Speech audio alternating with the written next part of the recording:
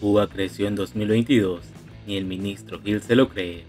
¿Cómo están amigos? Bienvenidos a Noticias Importantes. Esperamos sus opiniones en los comentarios. Comenzamos. El ministro Gil informó en julio sobre el 1.8% de expansión de la economía en 2022 y, acto seguido, advirtió, quizás porque ni él mismo creía lo que estaba diciendo, que cada vez que hablamos de crecimiento tenemos que tener en cuenta donde casi estábamos paralizados. Pero, ¿acaso hay alguien realmente que crea que Cuba de 2022 fue mejor que la de 2021? ¿Dónde está ese crecimiento que no lo vemos? El funcionario, para sorpresa de los enterados en estos temas, mencionó entre las actividades de mayor crecimiento el turismo, el transporte, las comunicaciones y los sectores sociales de la educación, cultura y deportes. Y esto sorprende porque Pocos días antes, el ministro de Transporte afirmaba que las bases principales de todo país habían estado trabajando prácticamente sin piezas de repuesto los últimos tres años, porque la disponibilidad técnica había estado por debajo del 50%, lo que conllevó a que los niveles de carga de importación y exportación operada en los puertos se redujeran a más del 44%, es decir, un panorama que por ningún lado trasluce crecimiento. El turismo sí crece con respecto a 2021, pero el ministro lo entrecomilla explicando que hasta la fecha se había recibido una cantidad que es solo el 51% de la registrada en igual etapa en 2019. Tal dato colocaba a Cuba como el único país del mundo que teniendo el turismo entre sus principales industrias no ha recuperado aún el nivel de actividad prepandemia, y no por poco, sino que ha recuperado solo la mitad.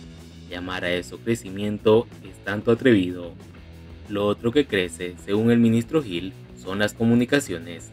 Sin embargo, otra vez él mismo puso esto en duda, explicando que éstas mantienen una tendencia de crecimiento en la captación de divisas desde el exterior, dado el aumento de las ventas de CUP esto es bueno para la población, pero afecta a la recaudación externa. Entonces, el negocio crece, pero da pérdidas. Los otros sectores del supuesto crecimiento son educación, cultura y deporte, algo que, otra vez, vuelve a contradecirse con un dato que el mismo ministro aportó en su discurso. Las actividades sociales disminuyeron un 4.9%. Tal contradicción es fácil de ver más allá de los números educación, cultura. ¿Acaso no tendrá Alejandro Gil un sobrinito siendo educado por un profesor que a duras penas sabe leer y escribir? No conoce el estado deplorable de las escuelas y los claustros y el deporte. En este sector lo único que crecen son las deserciones de atletas, nada más bajarse del avión. Las medallas son muy escasas. Pero si los sectores que supuestamente crecieron son dudosos, donde no hay dudas es que las mayores caídas se reportan en actividades primarias vinculadas a la producción, la agricultura, la ganadería, la silvicultura, la industria manufacturera, el comercio y la electricidad. En concreto, las actividades primarias reportan valores negativos de entre menos 34.9% y las secundarias de menos 20%. Tal deterioro de las actividades básicas, industria ligera, energía, agricultura, están al inicio de la cadena productiva dificulta sobremanera la recuperación medianamente rápida y apuntan al agotamiento de un modelo que, como cáncer, comenzó destruyendo la periferia, pero ha llegado ya al tuétano de la sociedad y su economía. Si un ministro japonés anunciase semejante datos, acto seguido cometería seppuku por la enorme vergüenza de su más absoluto fracaso. Sin embargo, Alejandro Gil no se puso ni coloradito describiendo el infierno en que tiene sumido a los cubanos tras miles de medidas económicas y no se sabe cuántos planes y recontraplanes fracasados.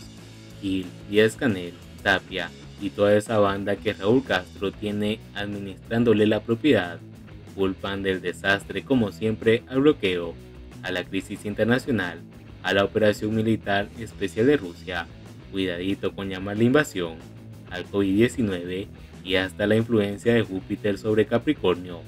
el universo entero es el culpable, incluidos los cubanos de a pie, claro, pero ellos no.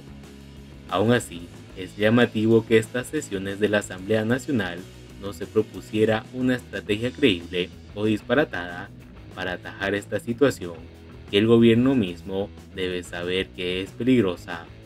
La reunión transcurrió entre malas noticias y de otras tipo contar palmazo o la acuicultura familiar y críticas superficiales que no se puede comprar queso, pero en términos de política económica solo se refirieron a una nueva ley de control de precios que, como las anteriores, hará más daño que bien. ¿Será que no propusieron nada para que se dieran por vencidos y próximamente van a entregar el gobierno? ¿O será que no propusieron nada porque ya solo les queda ir tapiñados hacia un capitalismo mafioso donde se repartirán el país con rusos y chinos a cambio de protección y apoyo? La respuesta parece obvia. Siguiendo con las noticias, el títere castrista Miguel Díaz Canel en búsqueda de reconocimiento internacional. La participación de Miguel Díaz Canel en la 15 Cumbre de los BRICS, efectuada en Johannesburgo, Sudáfrica, del 22 al 25 de agosto, fue presentada por los medios oficiales cubanos como uno de los acontecimientos más relevantes de conclave. Al parecer, estos pretendían compensar la poca aceptación del gobernante entre la población con su supuesta relevancia en el extranjero. En realidad, el gobernante cubano uno más entre decenas de jefes de estados y gobiernos participantes de la cumbre. Por lo tanto, su presencia pro tempore del grupo de los 77 más China no le dio preponderancia entre sus homólogos presentes. Parece que el gobierno fundamental de Díaz Canel fue a buscar el reconocimiento internacional para emular la fuerte impronta de Fidel Castro durante más de 50 años. Por otro lado, el actual gobernante cubano procuró garantizar la nutrida asistencia a la costosa cumbre del Grupo de los 77 más China que se realizará en Habana en septiembre próximo. Díaz Canel logró conversar con importantes estadistas como el primer ministro de India, quien se refirió a la disposición de seguir la colaboración con Cuba. Al igual que el movimiento de los no alineados, el grupo de los 77 más China ha perdido fuelle, pues sus objetivos y retóricas no se han adaptado a las realidades del mundo post-Guerra Fría y al surgimiento de prioridades tanto entre los antiguos países colonialistas como en aquellos que procuran nuevas vías para sacar a sus poblaciones de la miseria. El grupo de los BRICS, surgido en 2006 y oficializado en 2008, recibió su nombre del economista Jim O'Neill.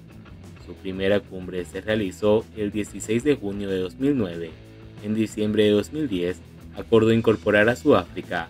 Entre sus objetivos ha estado la reforma del sistema de Bretton Woods o sea, el Fondo Monetario Internacional y el Banco Mundial. Antes y después de la cumbre, Díaz Canel visitó varios países africanos, Angola, Mozambique, entre otros, donde evidenció que el gobierno de la isla no tenía nada nuevo para enarbolar, sino rememorar sus ayudas militares y formación de estudiantes, mientras aspira a la retribución material para afrontar la grave crisis que sufre el país. Y bien amigos, y vamos terminando las noticias importantes del día de hoy. Por favor, nos ayudarían mucho compartiendo las noticias y así poder informar a muchas más personas de la verdadera realidad en Cuba. Patria mis hermanos, nos vemos en el siguiente informe.